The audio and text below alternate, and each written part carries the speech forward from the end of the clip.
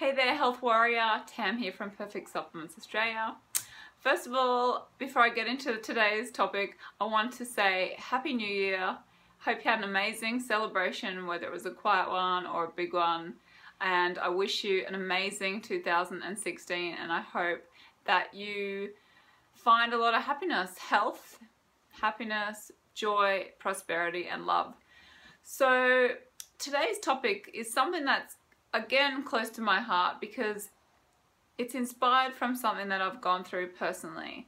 Uh, recently I was diagnosed with a condition known as pyrrole's disorder.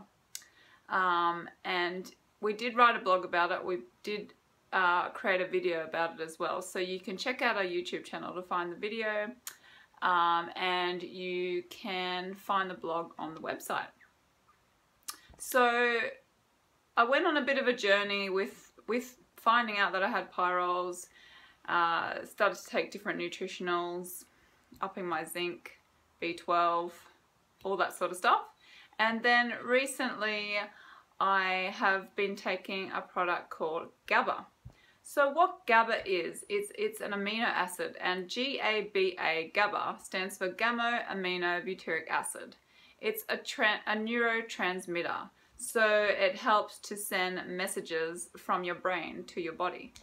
And what GABA is responsible for is a person's behavior, their cognitive function, and the stress response in the body. So when we're low in GABA, we can suffer all sorts of problems. Obviously, we can suffer a lot of mental problems. We can suffer anxiety, which is what I take GABA for, and also to help to regulate my mood. Because when you're low in GABA, you can have mood disorders. So GABA is a natural way of helping to balance out that. But GABA is not actually something you can go and grab from over the counter. You need to go and see a naturopath and they will give you a prescription to go to your health food shop and get some GABA. So there are a few other reasons why people use GABA and I'm just going to refer to my notes because I can't think off the top of my head what they all are. So people take GABA to help improve sleep, reduce or alleviate anxiety, elevate mood, relieve premenstrual syndrome if you're a woman, treat ADHD, burn body fats, normalize blood pressure, relieve pain and discomfort, increase strength and increase growth of lean muscle mass. So yeah, I just wanted to share the information with you today in this video.